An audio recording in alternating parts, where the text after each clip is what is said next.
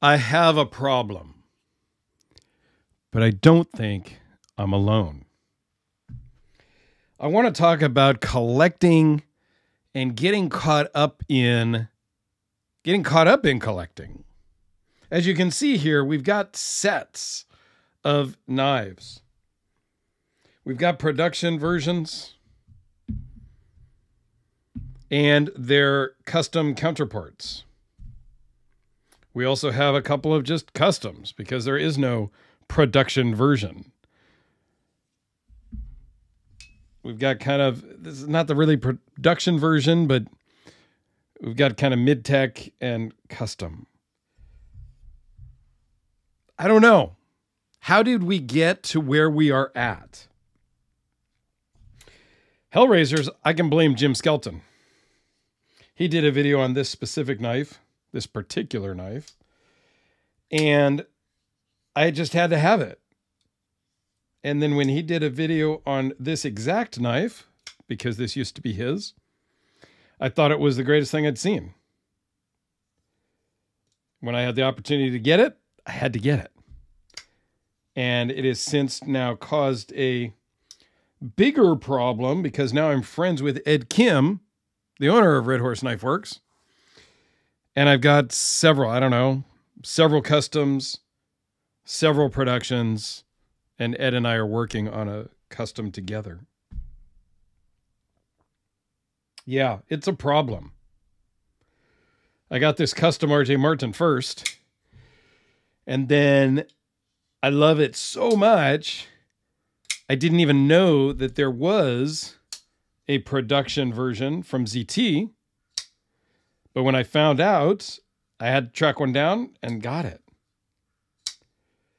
Do you collect sets or do you not? Alex, my co host on the EDC Hour, I'll put a link down below. He collects three knives from every maker. It's kind of his thing. Because why experience just one? He wants to have three of a maker or three of a brand to really check them out. And I think that's a great way to go. I got this Pocket Ryu, the production version, first after meeting Edison at the custom California Custom Knife Show and hung out with him, had dinner and all that.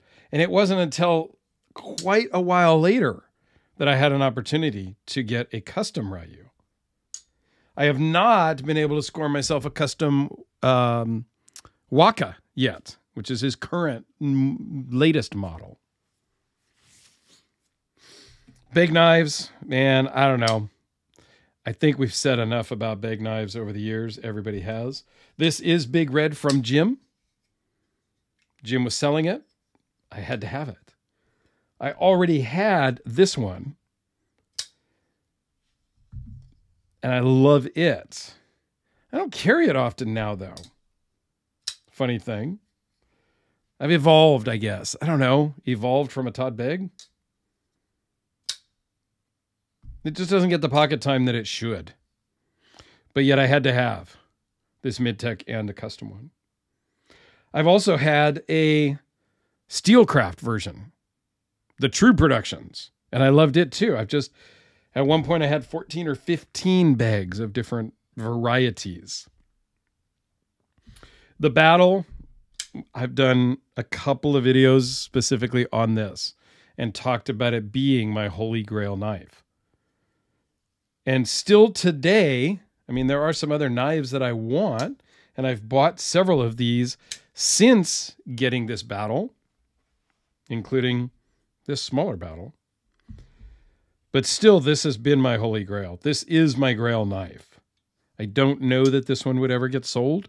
I'm not going to say never because we know how life goes. But when I had an opportunity to get this smaller version, I jumped at it. Thank you, Eric, so much for selling this to me. This gets carried a lot. It just carries way better than this one. And I've talked about that in other videos. So this one I do carry and I use. I don't care. I don't care. I carry all of my custom knives It just doesn't matter. This one is probably one that I carry the most of all my knives. I don't know. As we wind down the end of the year of 2022, I will be doing a video on kind of not a state of the collection, but a just kind of a recap of where I am and what I bought in 2022, what I got rid of, things like that. I don't know. I think collecting is just an odd, weird thing. And there's no rhyme or reason, there's no wrong way to collect, but I want to know how do you guys collect? Are you into multiples? Whether it's multiples of the same model, like I really like the Bodega, way better than the Field Marshal, way better than the Kwaikens, like way better than other, any other model the Beggs did. I really do like the Bodega. That's my model of choice. Same with Frank Fisher. The Battle is the model of choice. I like the Fury. I like a couple of the other ones, but the Battle is really what drew me in. Same with Red Horse. The Hellraiser. It's the model of choice. The chopper is cool.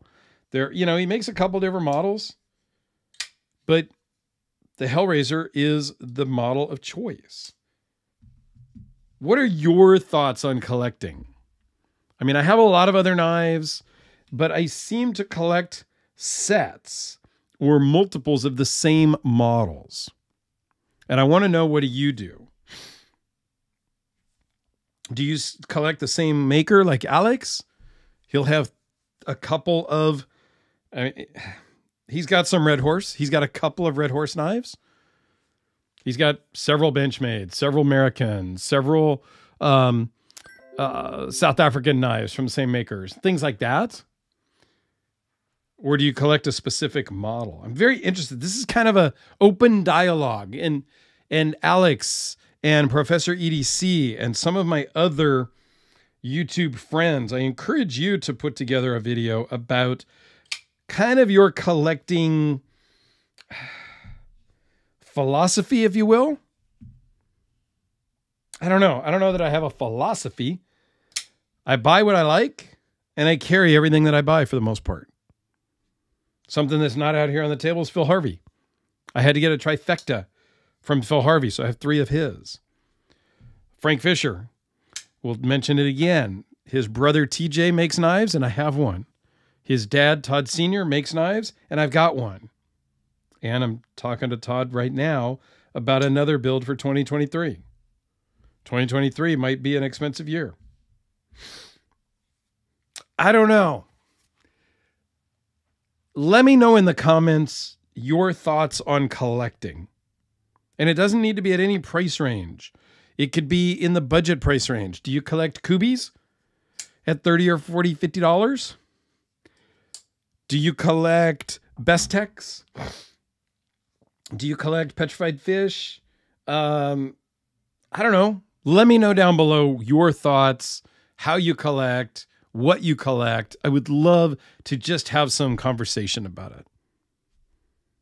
Thanks for watching, guys. Stay tuned for kind of a 2022 recap video, as well as just the normal videos that I'm normally putting out. So, Thanks, guys. Have a great day.